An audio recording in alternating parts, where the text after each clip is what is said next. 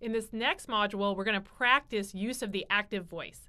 I'm going to put up a passive voice sentence, and then I'll have you pause the video and attempt to put it back into the active voice on your own. Then you can restart the video and I'll go over the answer. We're going to start with this sentence. A recommendation was made by the DSMB committee that the study be halted. Now pause the video and turn that into the active voice and then restart the video.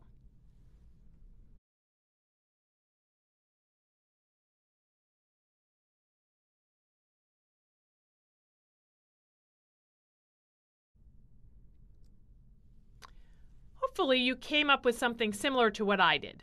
To put this in the active voice, you say, okay, who made the recommendation? Well, it was the DSMB committee that recommended that the study be halted.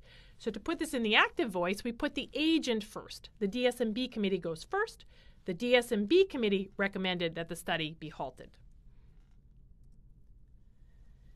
The next example says major differences in the reaction times of the two study subjects were found. Now go ahead and pause the video and turn that into the active voice.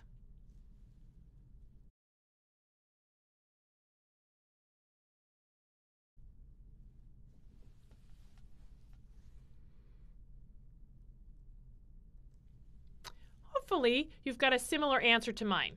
To turn that one into the active voice, you had to recognize that there actually wasn't an agent in that sentence I gave you. So you had to guess that the agent is probably the authors of a scientific manuscript who are reporting this result. So you can say, we observed, or the scientists observed, or the researchers observed um, major differences in the reaction times of the two study subjects. If you want to, perhaps we don't need the we observed here at all, actually. You could be more direct and just state what was observed. So you could say the two study subjects differed in reaction times. Next example says it was concluded by the editors that the data had been falsified by the authors. Go ahead now and pause the video and make this one into the active voice.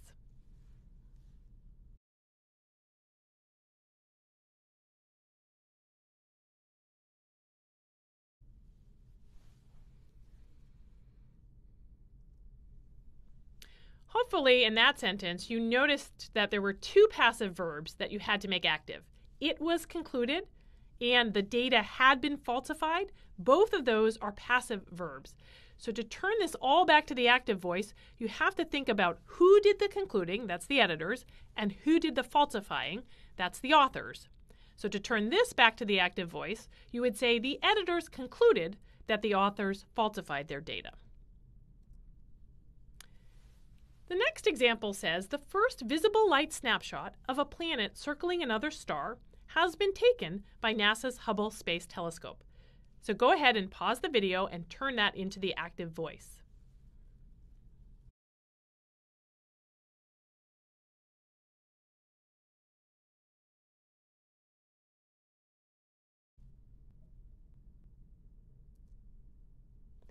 To turn this one into the active voice, you had to recognize who or what was taking the snapshots.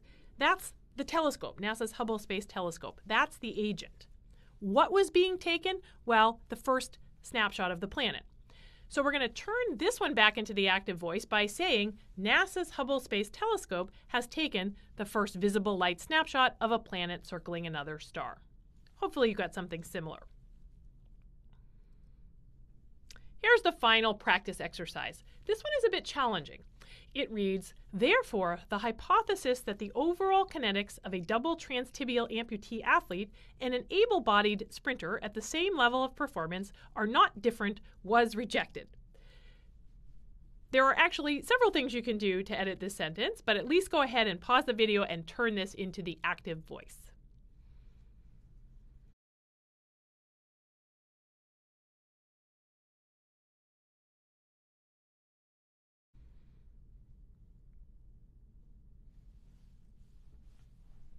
Hopefully, you got a similar answer to mine. To turn this into the active voice, you had to recognize that the passive verb is was rejected, which came way at the end of the sentence.